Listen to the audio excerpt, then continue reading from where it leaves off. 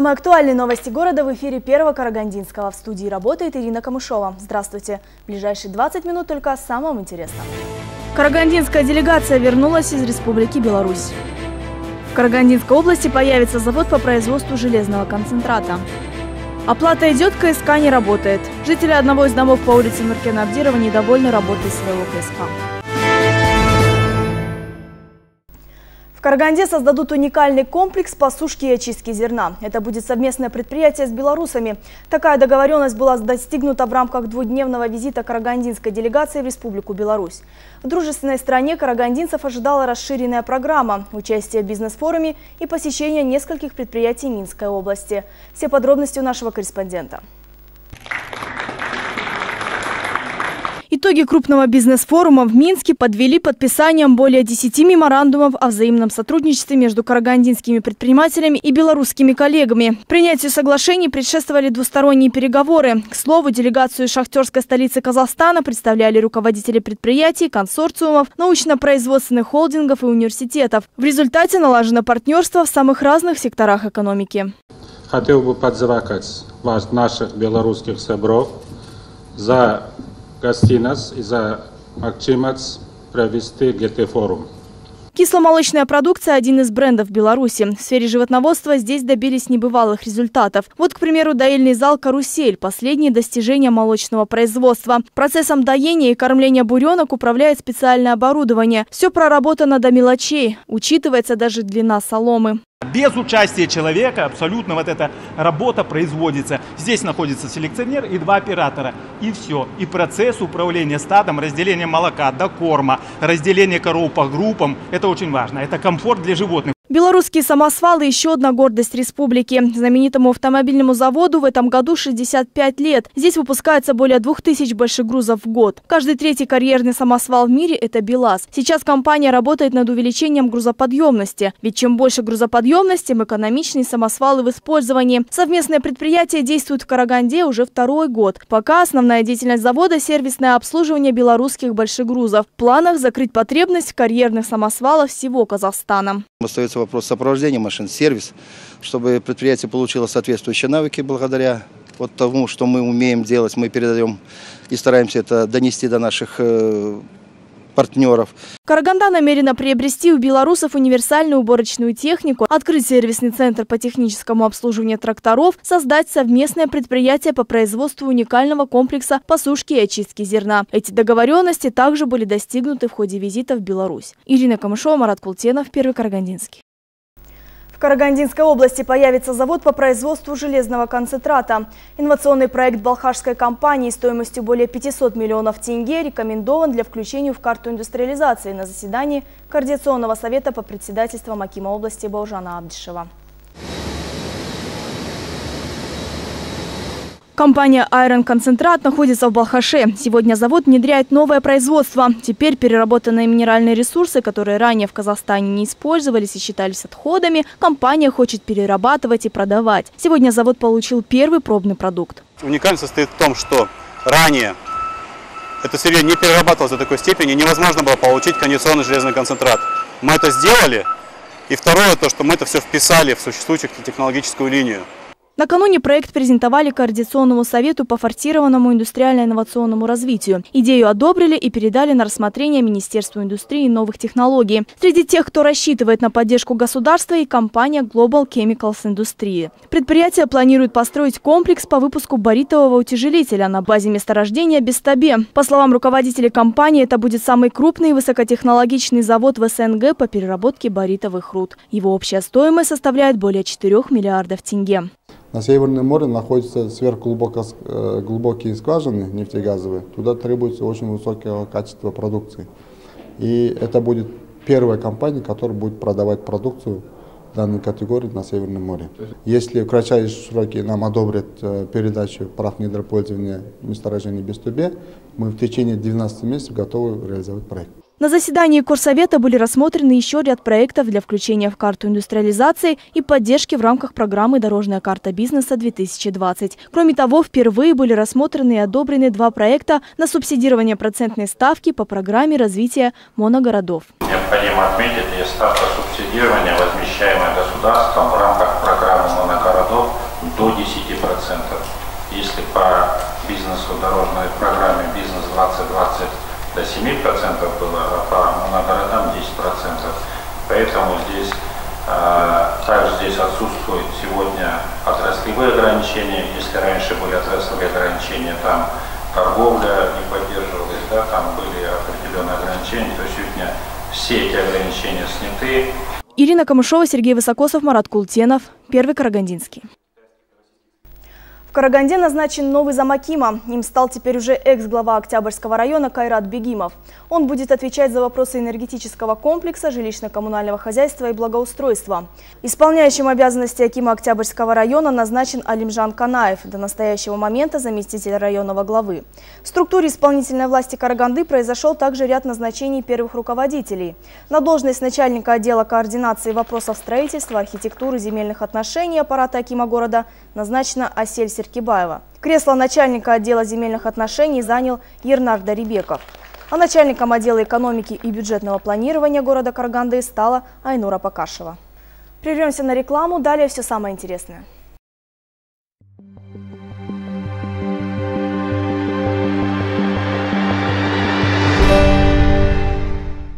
Молочная фабрика на Тиже представляет новый продукт – ацидофилин. Бактерии акцидофилус выводят шлаки, токсины, очень устойчивы к действию антибиотиков, восстанавливают и укрепляют иммунитет. Японские медики называют ацидофилин страховкой от рака желудка.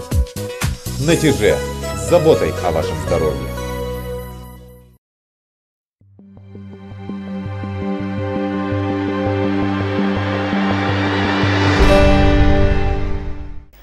Сезон горячих батарей подходит к концу. Народные избранники в преддверии очередной сессии по этому поводу с визитом к монополистам, которые так или иначе задействованы в проведении отопительного сезона. Сегодня компания «Караганды Жарык» показала депутатам, на что тратятся деньги потребителей и как воплощается в жизнь инвестиционная программа.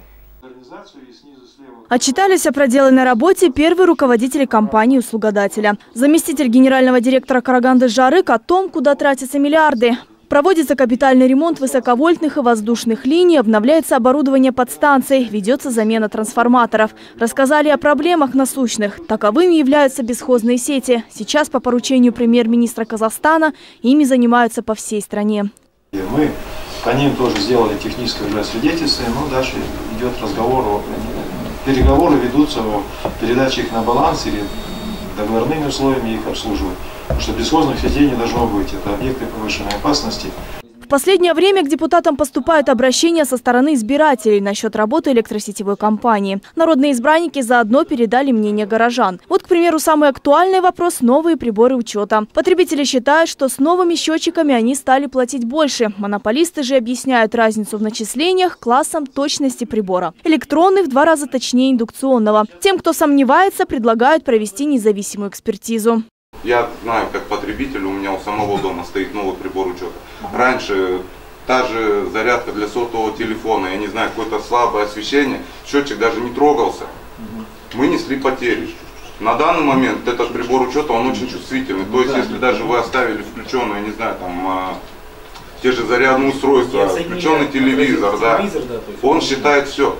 От слова к делу показали депутатам и модернизированную подстанцию «Юго-Восток». Она питает электричеством одноименный микрорайон и часть Степного. Здесь установили новое оборудование, тем самым значительно увеличили мощность подстанции. Сегодня компания готовит проектно-сметную документацию для строительства новой линии, которая обеспечит электроэнергией район Кунгей.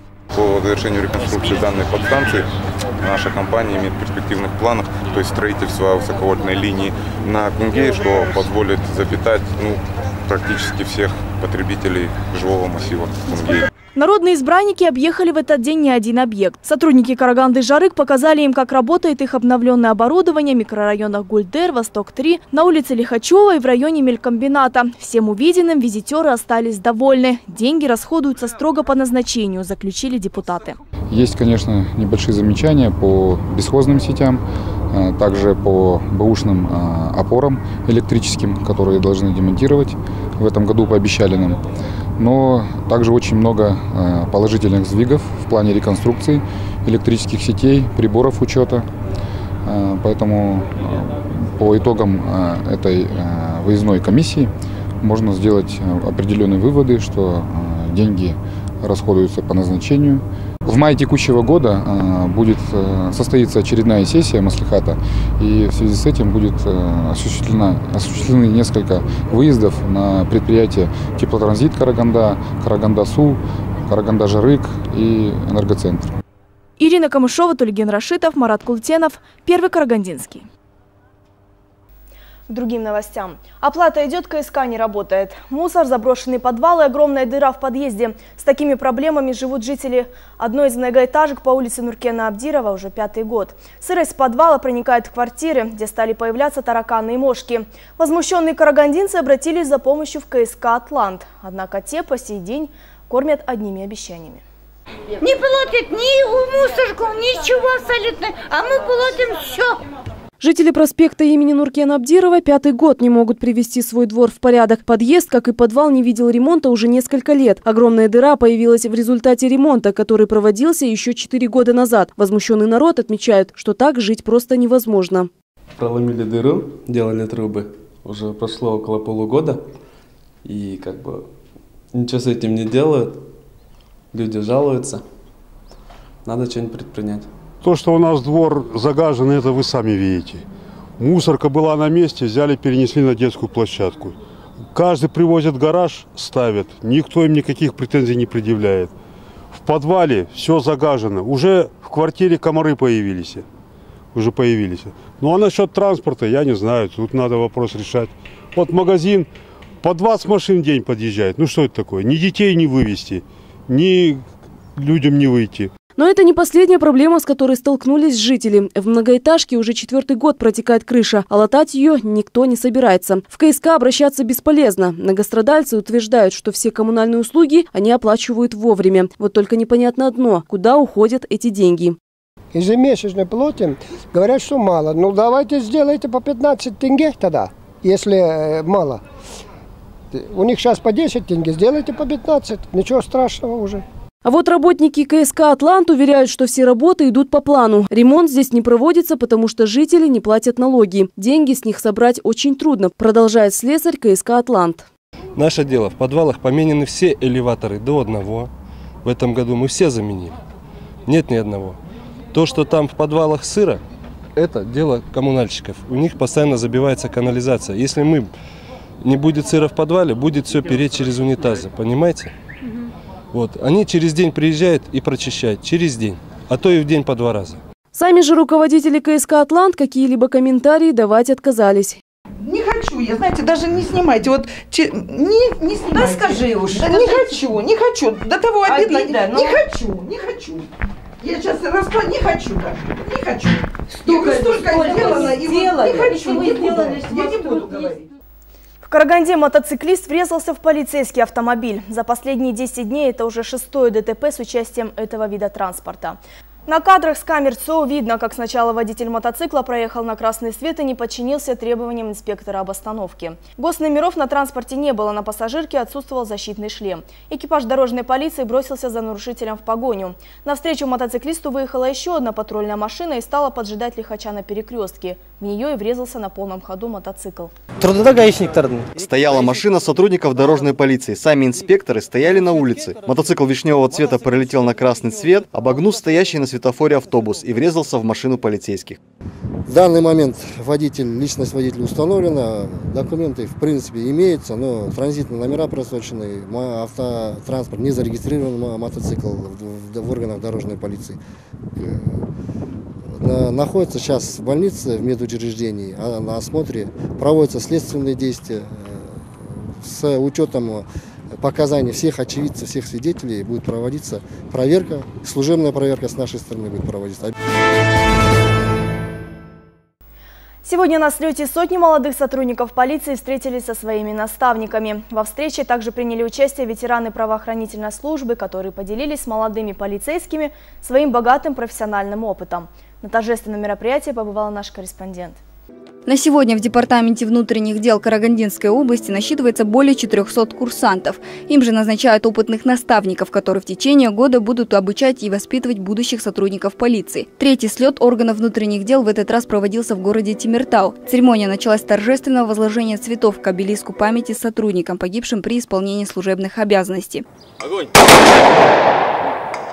После же курсанты и сотрудники правоохранительных органов посетили историко-культурный центр первого президента Республики Казахстан, где для них провели экскурсию. Как отмечает Ардак Интекпаев, заместитель начальника ДВД Карагандинской области, в рамках данной встречи был проведен и круглый стол. Будут подниматься проблемные вопросы, касающиеся именно малых сотрудников. Именно сегодня мы специально пригласили представителей Жасутан, Нуротан, в рамках торжественного мероприятия для участников подготовили документальный фильм о работе наставников со своими подопечными. Абылайхан Жумабеков, слушатель Карагандинской академии имени Барымбека Бесенова, отметил, что их деятельность прежде всего зависит от их наставников. Они как бы залаживают фундамент. Все зависит от наставников. В итоге торжественной встречи лучших наставников наградили денежной премией, а также ценными подарками. Кроме того, отличившихся руководителей их подопечных в мае текущего года планируют направить на слет наставников и молодых сотрудников МВД Республики Казахстан. О новостях спорта расскажет Берег Апаров. Спонсор показа Galaxy Group, производитель продукции торговых марок Алюгал, Галвин, Херкюль. Компания Galaxy Group вот уже 18 лет является основоположником сектора производства пластиковых и алюминиевых профилей для окон и дверей в Республике Казахстан. И мы представляем вашему вниманию эксклюзивную продукцию казахстанской фирмы Алюгал. Алюгал производит алюминиевые профили широкого ассортимента и высокого качества, любой сложности и на заказ. Балконы, двери, окна, офисные перегородки и входные группы. Алюминиевые профили Алюгал – это современно, долговечно и престижно. Мы можем подобрать любой цвет, легко сборке и проста в эксплуатации, ведь продукция фирмы Алюгал адаптирована на наш климат. Алюминиевые системы – это Алюгал. В центре бокса имени Серика Сапиева впервые пройдет областной турнир «Алтын-Саха». Издревле казахские дети устраивали настоящие баталии в этом виде спорта, но со временем национальная игра утратила свою былую популярность. Теперь при поддержке госорганов эта игра приобрела статус официального турнира и сразу же вызвала большой интерес среди современной молодежи. На самом-то деле у нас э, сегодня в Казахстане создана федерация э, по Асыгату, э, и этот древний, древний игра, наша, наша традиционная игра сегодня возрождается. И в нашей Карагандинской области это первый турнир из года в год вот, при поддержке Акимата Карагандинской области, управления, нового управления по вопросам молодежной политики совместно с нашей партией, партией Нуротан, мы будем проводить ежегодно такого рода турниры. Карагандинском спорткомплексе «Жастар» стартовал турнир по вольной борьбе памяти заслуженного тренера Республики Казахстан Жума Жана Акенова. В соревнованиях принимают участие юные борцы 93-95 годов рождения. Турнир берет свое начало в 93 году и с тех пор проводится традиционно. Этот турнир проводится, как я сказал, 19 раз. Принимали участие очень большое количество ребят, которые защищали не только честь Казахстана, на первенство Азии, мира, но и даже Олимпийских игр. Сейчас приехало около 220 человек. Это все новости на сегодня. Напоминаю, телефон новостной службы первого Карагандинского 42 06 49. Звоните, делитесь интересной информацией. Еще больше новостей на нашем сайте. Адрес на экране. Приятных выходных, всего доброго. Аман Саубонздар.